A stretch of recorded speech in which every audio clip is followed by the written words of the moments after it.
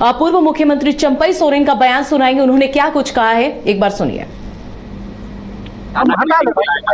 हम जो तीन जो रखा था संन्यास और नहीं तो संगठन नहीं तो दोस्त है ना?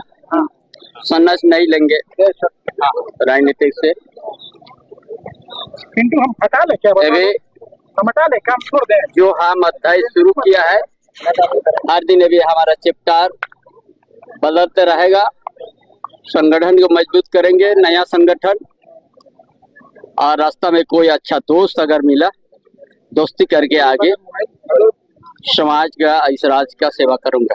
नए पार्टी बनाते तो समय बहुत कम है बोल रहे हैं। उससे आपका क्या परेशान है? आपका क्या परेशान है? नहीं आपका क्या परेशान है? वही बोलना है नहीं। नहीं आपका क्या परेशान है है जब हमारा एक दिन का आने में यहाँ पर तीस चालीस हज़ार कर्जे का तो आ गया तो आपका क्या परेशान है आप लोग का? जब हम एक दिन में आ गया कल से हज़ार हज़ार रोड में कर्ज करता है आज भी तीस चालीस हज़ार कर्ज करता है। तो नया बनाने में हमको क्या तकलीफ़? इसीलिए हम नया भी बन सकते हैं। अच्छा दोस्त होगा तो दोस्त के साथ आगे भी कर सकते हैं।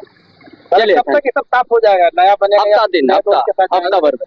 चार दिन से दिल्ली में थे कंटिन्यू और लेकिन चर्चा का विषय बना हुआ था कि दादा कैसे है पार्टी छोड़ रहे थे पार्टी शामिल हो रहे हैं क्या था पूरा सब लोग आपको बताया कि बेटी के पास गए उसके बाद बाकी सबको समझा दिया यार आपको चार चार दिन का अभी तक पता नहीं फिर भी लेकिन नहीं नहीं आपको अभी तक पता नहीं है आपको अलग से क्यों देंगे इसलिए कहा चार दिन है हमारा बेटी है हमारा पोता है वो लोग के साथ हम मिलने गए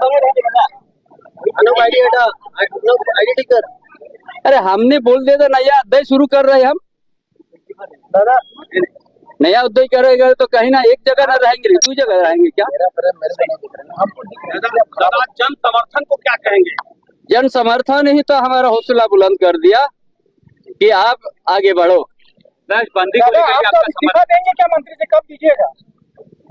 अरे उसका लिए तो समय हम बताएँगे ना आपको। ठीक है चलिए। जिस समय बताएँगे उस समय आप बोले।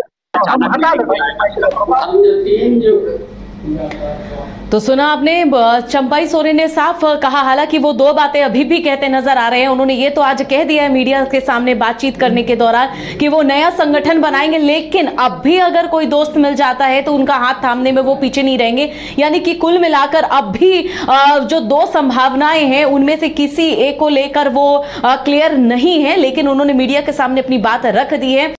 पेड़ा नगरी घोड़मारा का सत्तर वर्षों का विश्वास, सुखाड़ी मंडल पेड़ा भंडार एवं सुखाड़ी मंडल गार्डन एवं रूबी रेस्टोरेंट, बम श्रद्धालुओं के लिए सेवा में सदा तत्पर है। गाय के शुद्ध दूध से निर्मित शुद्ध पेड़ा, शुद्धता की गारंटी प्रोपराइटर रोहित मंडल के लिए श्रद्धालुओं का विश्वास ही आशीर्वाद। जय बाबा वैद्यनाथ, जय बाबा बासुकीनाथ।